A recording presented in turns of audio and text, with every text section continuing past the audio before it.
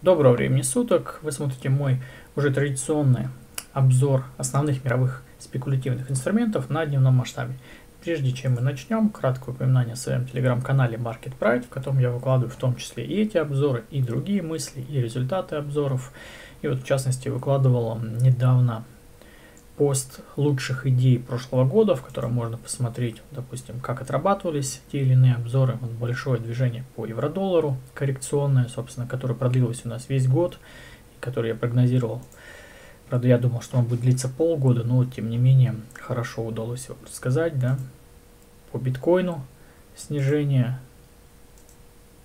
хороший лонг по золоту, ну, в общем, много разных идей, в том числе и по Тесли, по нефти.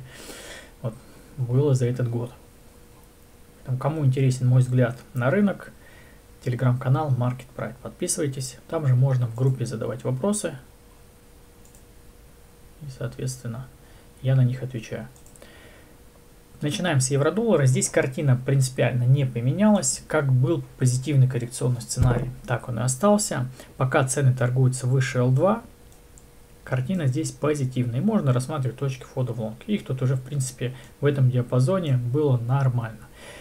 Пока цена не улетела вот выше там района 13.70 где-то, да, здесь у нас граница, ну, собственно, ничего тут принципиально не изменится. Вот когда будет пробита эта верхняя граница, там уже посмотрим, э, сколько сил у рынка, хватит добить до зоны 1.15, либо нет, ну и, собственно, как будет цена реагировать когда придет к этой зоне. Пока, ну, ничего интересного нет. По-прежнему сценарий позитивный, пока выше L2. Соответственно, повторяться в сотый раз не буду. Уже много недель все повторяется.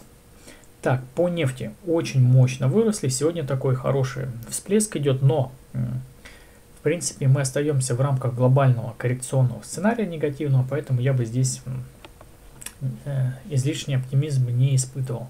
Надо посмотреть, как сейчас цена будет вести себя э, вот в районе вот этой как раз вот зоны. В прошлый раз, когда я записывал обзор, мы, по-моему, здесь вот были прям на низах. Такое мощное снижение у нас было. И я тогда говорил, что там о лонгах каких-то можно будет думать только если будет перелой. Да, и здесь будет хорошая возможность такая для лонга. Сейчас же локально, на мой взгляд, э, все это движение вписывается в рамки коррекции предшествующему снижению, поэтому здесь бы я пока излишнего оптимизма не испытывал. Я говорил в прошлом обзоре, что выглядит все плохо, но это не значит, что будет все дальше падать. Тут на самом деле глобально, чтобы сценарий сменился, ну, нужно цене постараться. Поэтому если вдруг, если вдруг вот из этой зоны будет уход вниз выше L2, да, это примерно уровень 76-70, да, вот ниже вот этих вот максимумов. Но опять же, цена здесь вторичная, это у нас февральский контракт на Наймиксе. Посмотрите там на свой контракт, в зависимости от того, там, какие там ценники. Обращайте внимание на них все-таки. На разных контрактах цены отличаются. Важным здесь уровнем являются вот эти вот максимумы, да, ну и вот эта, собственно, зона, куда сейчас пришел рынок. Вот если будет отсюда отбой вниз, с закрытием ниже вот этих вот максимумов, это будет очень негативным таким сигналом. И здесь при появлении каких-то э, формации продолжения можно будет рассматривать шарты с целью там обновить минимумы, вначале вот эти, ну и соответственно потом потестировать следующую зону. Вот, если же здесь будет консолидация на верхах, не будет слива отсюда, не будет отторжения, да, вот здесь рынок, допустим, зависнет, это будет такая положительная, положительный момент, все-таки вот эта зона 76, 76, 70 она может тут поддерживать. Поэтому пока цены выше, картинка условно позитивная, но глобально сценарий ну, коррекционный. Поэтому я бы здесь, ну, скажем так, пока, пока, пока я не увижу к этому росту хорошую лонговую какую-то формацию, я бы пока к этому росту относился с осторожностью с большой. Потому что тут на самом деле мы можем даже еще повыше зайти, но тем не менее остаться в рамках такого большого коррекционного сценария. В этом нет абсолютно ничего нового. Вот поэтому посмотрим. Но на текущий момент готово э, что-то не могу сказать. Вот единственное, что при уходе вниз, да, и при здесь закреплении ниже 76-70, здесь можно будет шорт рассмотреть. Здесь достаточно понятная картинка. Вот, но если будет закрепление выше, тогда, соответственно, подождем. По золоту, по золоту. Пока локально позитивно. Все-таки пытаются, пытаются приблизиться к L2. Если она будет пробита, э, движение наверх, то это очень вероятно. Но опять же, как я говорил, вот в этом диапазоне возня длящаяся может э, и еще какое-то время продлиться. В целом не исключаю снижение вниз. Говорю, что в глобальном плане это исключать нельзя в рамках большой-большой коррекционной структуры. Вот. Но о суперпозитиве там можно будет думать все-таки, когда цена будет закрепляться выше к вот этим максимумам, когда будет готова их пробить. Ну и тем более, когда их пробьет, уже тогда будет вообще полегче. В общем, пока локально позитивно, но глобально тут э, сегодня не готов я делать каких-то выводов. Локально, наверное, есть смысл по-прежнему, по крайней мере, больше закладываться скорее на локальный какой-то лонг, вот, но пока без подтверждения. То, что отсюда отбились, это позитивненько, хорошо, но вот дальше тут пока ничего хорошего в долгосрочном плане не нарисовали. Кстати, если сейчас не будут все-таки вырываться выше L2, а еще раз сделают отбой от этой же зоны, это будет э, усиливающим признаком все-таки для лонга.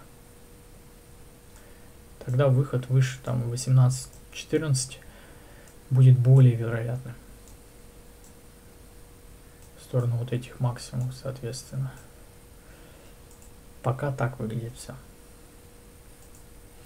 индекс S&P 500, вернее фьючерс на индекс S&P 500. Здесь э, все развивается в рамках позитивного сценария, ничего тут страшного не произошло. Чуть-чуть не дотянули до зоны L2, но я говорю, что пока цена выше, все позитивно. Ну, соответственно, вот мы видим, что обновили сегодня буквально недавно максимумы, поэтому тут все остается в рамках позитивного сценария. Другое дело, что когда мы здесь находились, да, и отскакивали то от этой зоны, там, то к этой подходили. Я говорю, что можно рассматривать, в принципе, лонги, есть перспектива, куда расти. Сейчас, когда уже пробили, ну, явно для каких-то свежих входов уже нужно ждать следующей коррекции, и уже тогда можно будет говорить о каком-то, ну, возможном входе в лонг, потому что сейчас уже поздно. Уже хорошее движение прошло, уже нужно ждать новую какую-то коррекцию, ну, как минимум какую-то локальную, внутридневную, ну, внутри дня я здесь в рамках обзора не рассматриваю, да, я только день рассматриваю, дневной график, поэтому на дневке вот последние две недели были хорошие возможности, пока мы вот в этой коррекции находились. Вот сейчас же те, кто заходил, пользуются плодами, ну и насколько хватит этого роста, гадать не берутся. Но локально пока картинка неплохая. Если вдруг рост захлебнется да, и уйдут ниже L1, это будет ну, таким негативным признаком. И опять же здесь у нас зона такая достаточно широкая. Могут снижаться сюда, но тем не менее. Вот, в, если куда-нибудь 4680 будут стукаться, но это будет уже такой плохой вариант. Тем более, если не будет отсюда откупа быстрого из этой зоны.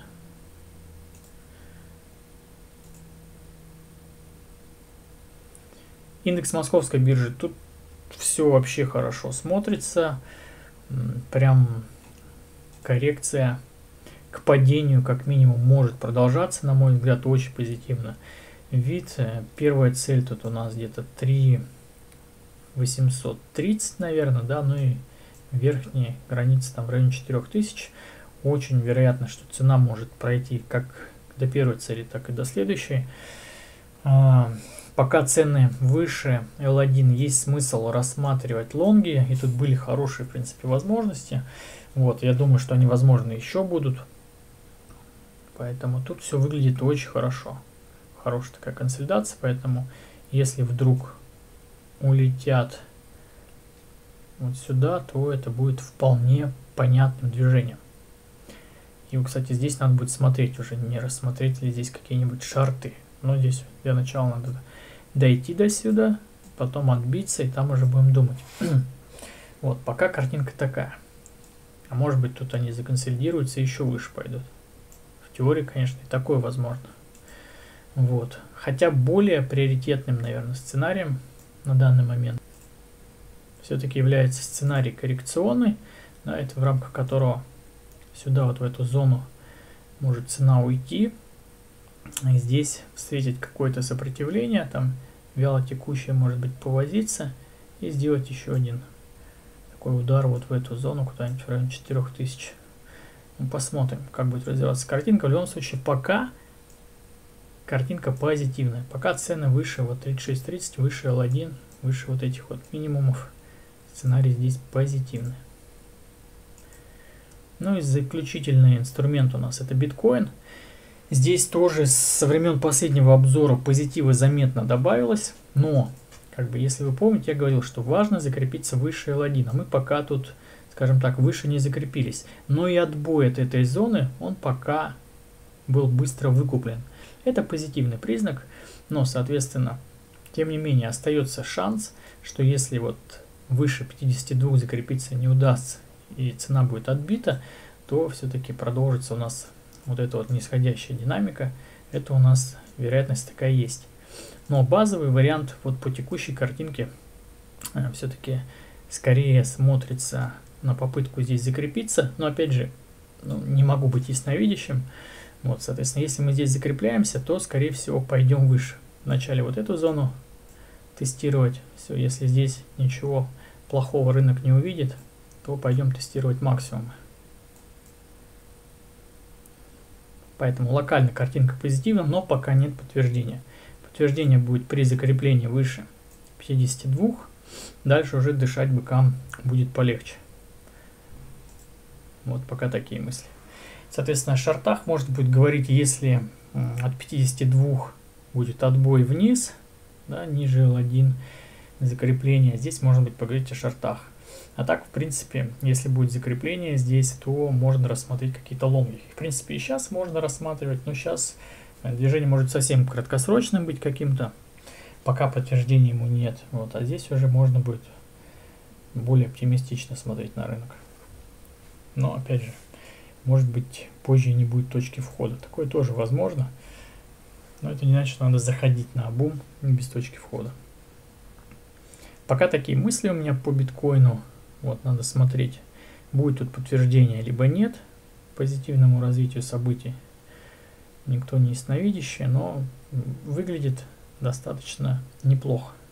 По крайней мере, локально, вот сейчас, очень выглядит э, на то, что тест куда-нибудь района 55, 58 цена хочет сделать. Все, на этом все. Отличных вам трейдов. Вопросы пишите в нашу группу, да, в телеграм-канал. До следующих обзоров. Ну и с наступающим, конечно же, вас Новым годом, новогодними праздниками. Увидимся, услышимся теперь только в новом году. Вот, на этом все. Счастливо.